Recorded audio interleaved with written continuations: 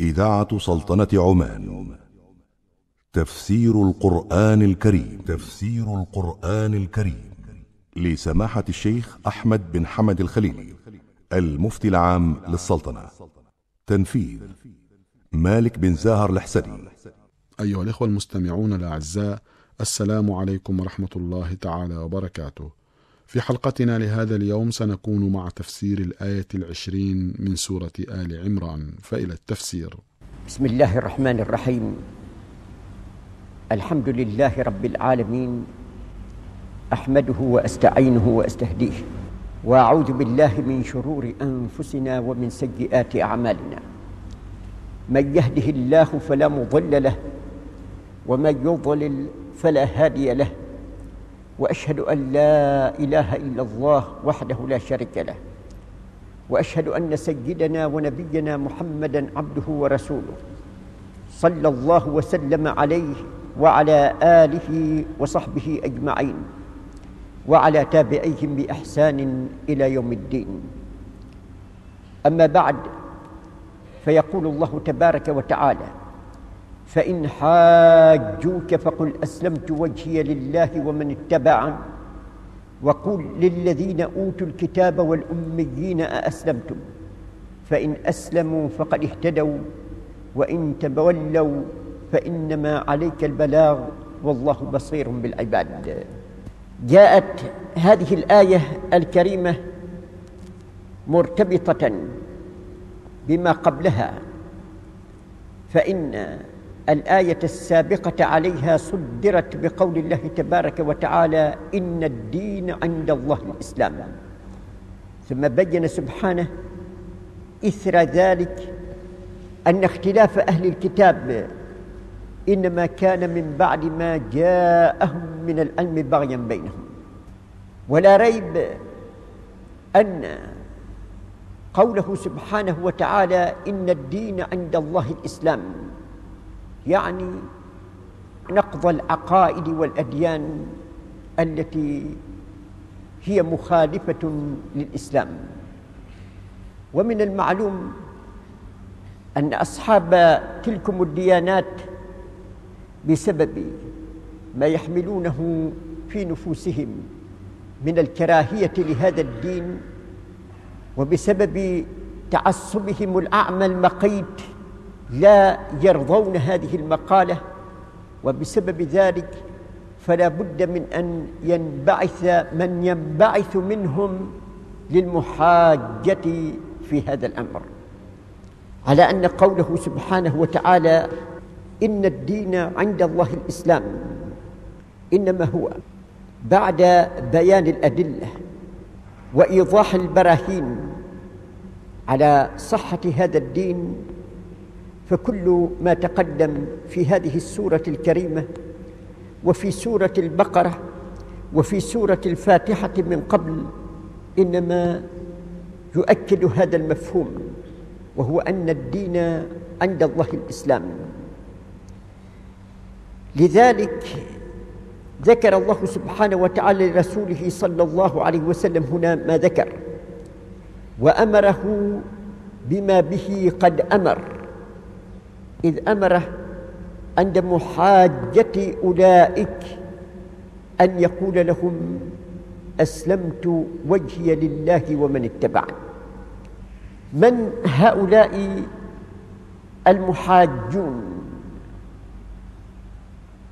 هل هم أهل الكتاب أي اليهود والنصارى؟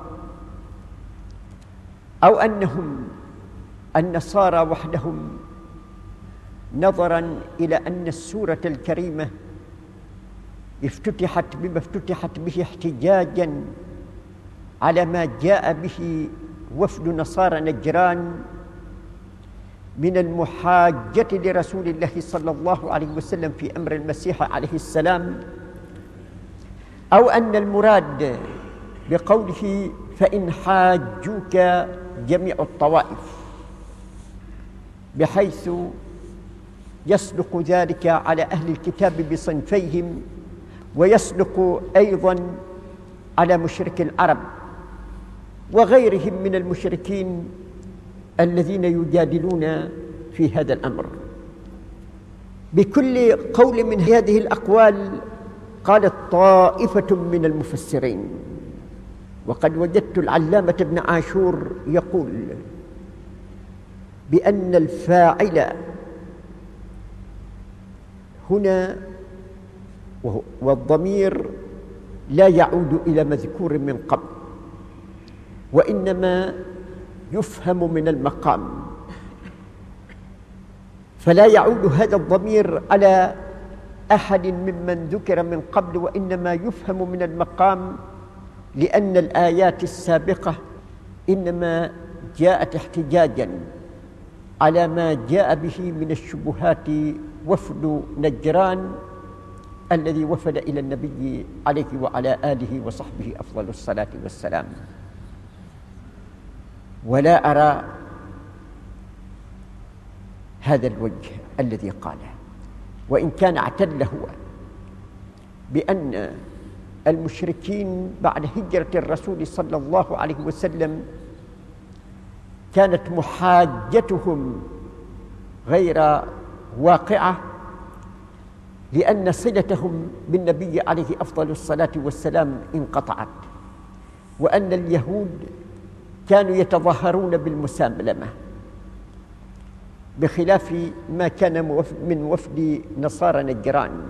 وهذا في الحقيقة كله ليس بشيء. اولا قبل كل شيء مع وجود معاد للضمير في الآية السابقة لا ينبغي أن تقطع صلة الضمير به.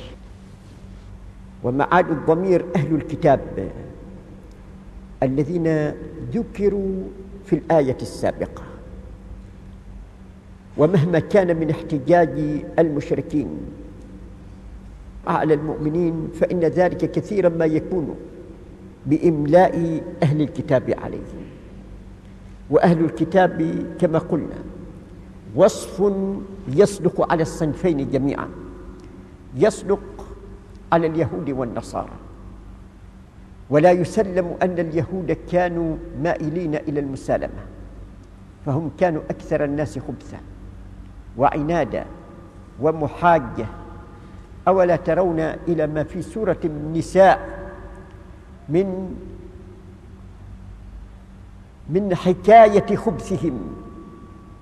وما نقله الله سبحانه وتعالى عنهم من قولهم للمشركين بأنهم أهدى من الذين آمنوا سبيلا إلى غير ذلك مما كان من منهم. فأمر اليهود لم يكن كما قال يدل على مسالمتهم ولو ظاهرة. بل كانت محاربتهم للدعوة امرا ظاهرا. والمشركون لم يسبق لهم ذكر هنا ولكن مهما يكن من أمر فإن محاجة أولئك المشركين كثيرا ما تكون إما بسبب اللدد والخصومة وإما بسبب ما كانوا يستوحونه من أهل الكتاب من الشبهات التي يريدون بها أن يلبسوا الحق بالباطل. فإذا المعاد واضح وهو أهل الكتاب الذين ذكروا في قوله سبحانه وتعالى في الآية السابقة وما اختلف الذين أوتوا الكتاب إلا من بعد ما جاءهم العلم بغيا بينهم فأهل الكتاب بطائفتين. إن حاجوا النبي صلى الله عليه وسلم فهو مأمور في مقابلة هذه المحاجة أن يقول أسلمت وجهي لله ومن اتبعني. وقد اختلف المفسرون في دلالة هذا القول على أي معنى يدل؟ هل هو دليل على المتاركة والإعراض عن المحاجة أو هو دليل على انهم أي على أن النبي صلى الله عليه وسلم يؤمر بمحاجتهم بأسلوب فيه إلزام الحجة لهم. وقبل كل شيء حاج. هو فعل مصوغ من فاعل الذي يدل على المشاركة ولا يأتي إلا كذلك. والمحاجة تكون بالحق وتكون بالباطل ولكن كثيرا ما تذكر في القرآن الكريم عندما تكون بالباطل كما في هذه الآية وفي غيرها. الذين قالوا بأن الآية الكريمة توحي أن النبي صلى الله عليه وسلم مأمور بالمتاركة معناها بناء على هذا الرأي. فإن حاجوك فقل أسلمت وجهي لله ومن اتبعني. قل لهم هذا القول. أسلمت وجهي لله ومن اتبعني. أي لا حاجة لي في محاجتكم. ذلك لأن الحجة قد قامت. والأدلة قد ظهرت. والبراهين قد تشخصت. فماذا تريدون بعد كل ما تقدم؟ لقد تعاميتم وتصاممتم عن كل الأدلة التي قامت عليكم. ولست بآت بأكثر مما جئت به من قبل. فإن فيما جئت به من الكفاية ما لا يخفى على ذي اللب. ولكن ماذا أصنع بنفوس شأنها المعاندة والمشاكسة والشقاق؟ وهذا القول ذكره الفخر الرازي وغيره وحمله الفخر على أن المراد بالأدلة ما تقدم في هذه السورة وفي غيرها من السور التي نزلت قبلها وهي سورة مدنية جاءت إثر سور مكية فيها كثير من البراهين في تقرير العقيدة الحقة وإثبات أن هذا الوحي إنما هو من عند الله سبحانه وتعالى وسبقت أيضا بما سبقت به من آيات مدنية أخرى على أن صدر هذه السورة فيه ما فيه قبل هذه الآية من الأدلة والبراهين التي تدل على أن الدين عند الله الإسلام وقد جاءت تلكم الأدلة والبراهين تمهيدا لإعلان هذا الأمر من عند الله سبحانه وتعالى. ويرى العلامة بن عاشور أن الإشارة في هذا إلى ما سبق من حوار بين النبي صلى الله عليه وسلم وبين نصارى نجران. سواء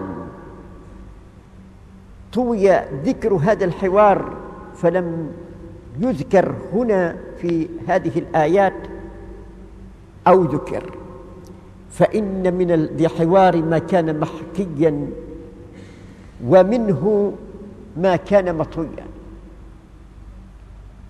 فما كان محكيا هو الذي ذكره الله سبحانه وتعالى في ثناء هذه الآيات المنزلة هنا.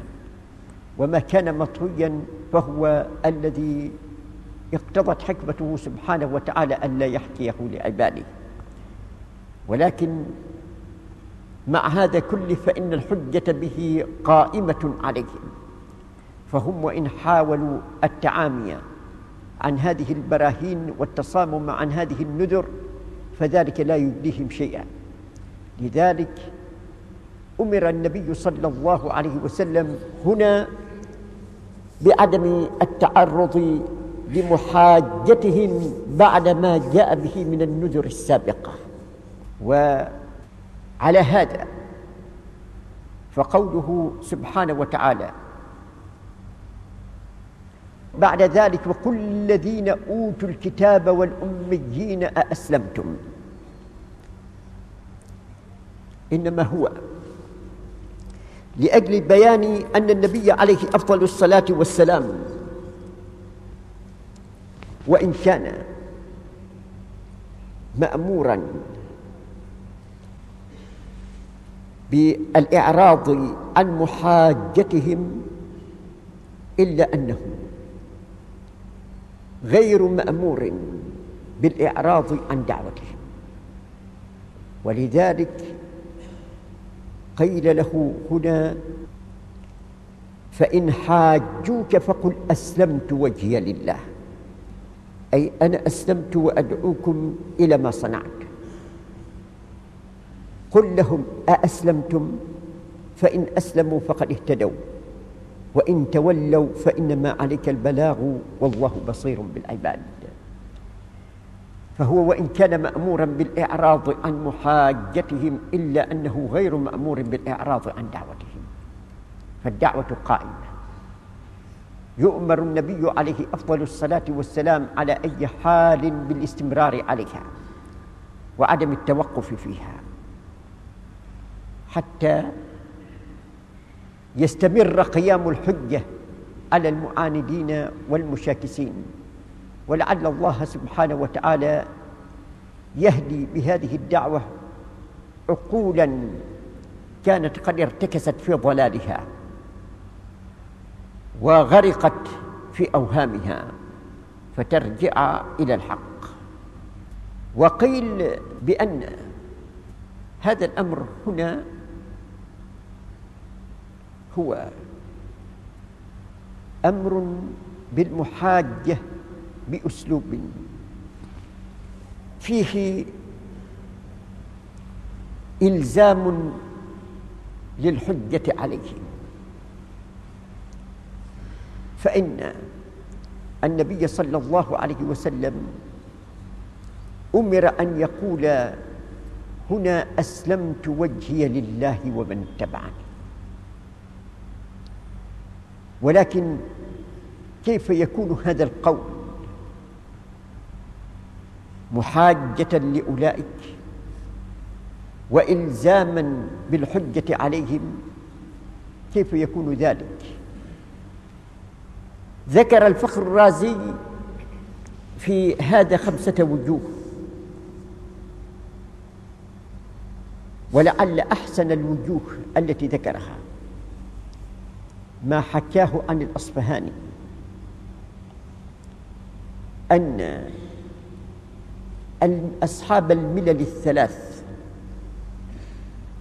وهم اليهود والنصارى ومشرك العرب مجمعون على أن ما كان عليه إبراهيم عليه السلام هو الدين الصحيح. ولذلك يحرص كل فريق منهم على الانتساب إلى إبراهيم. ويحاول أن يمت بصلته إليه. وإبراهيم عليه السلام عندما حاجة قومه الذين كانوا يؤلهون النيرات وبين لهم ضلال ما هم عليه من الاعتقاد وأن الحق في غير ما هم مستمسكون به. قال على أثر ذلك إني وجهت وجهي للذي فطر السماوات والأرض حنيفا وما أنا من المشركين. فأمر النبي صلى الله عليه وسلم أن يقول مثل مقولة إبراهيم عليه السلام. فإبراهيم قال ذلك القول الذي حكاه الله تعالى عنه في سورة الأنعام والنبي عليه وعلى آله وصحبه أفضل الصلاة والسلام أمر أن يقول أسلمت وجهي لله ومن اتبعني. ومؤدى المقولتين واحد. فلئن كنتم يا معشر أهل الكتاب ويا معشر الأميين أي العرب لئن كنتم أنتم تزعمون أنكم على اتصال بملة إبراهيم عليه السلام. وتقولون بأن إبراهيم عليه السلام كان على حق وهدى. فما لكم تعرضون عن هذا الدين وهو في الحقيقة عين ما جاء به إبراهيم؟ فإنه إسلام النفس لله عز وجل. إسلام الروح والجسم والعقل والقلب والضمير والغرائز والظاهر والباطن لله سبحانه.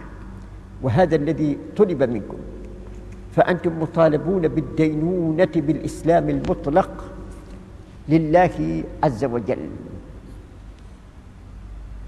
وهناك وجه آخر من ضمن الوجوه التي ذكرها الفخر. عده بعض المفسرين طريقة من الطرائق التي هي مدلول الآية الكريمة على رأي من آراء المفسرين. وذلكم الوجه هو أن الله سبحانه وتعالى ذكر أن الدين عند الله الإسلام. وأمر النبي صلى الله عليه وسلم هنا أن يعلن هذا الإسلام. وما هو الإسلام؟ إنما الإسلام كما ذكرنا هو أن يسلم الإنسان نفسه لله سبحانه وتعالى وهذه هي حقيقة العبودية لله عز وجل. ولئن كانت هذه هي حقيقة العبودية فإذا هذا هو مسلك الدين الحق. وكل دين على خلاف ذلك فليس هو من الصحة في شيء. نعم. أمر النبي صلى الله عليه وسلم هنا أن يقول أسلمت وجهي لله. ومعنى أسلمت سلمت. والوجه إما أن يكون المراد به الاتجاه والإخلاص كما في قول الشاعر أستغفر الله ذنبا لست محصيه رب العباد إليه الوجه والعمل أي إليه الاتجاه. وإما أن يكون المراد بالوجه الذات. ومعنى إسلام الوجه لله إسلام الذات أي أن النبي صلى الله عليه وسلم أمر أن يعلن بأنه أسلم ذاته لله سبحانه وإنما عبر بالوجه عن الذات لأن الوجه هو أشرف الأعضاء جميعا ولأن الوجه من وجه آخر هو مجمع المشاعر لأنه في الرأس فهو مجمع المشاعر والحواس ويتجلى إسلامه في العبادات في السجود وفي القراءة وفي غيرها أكثر من غيره.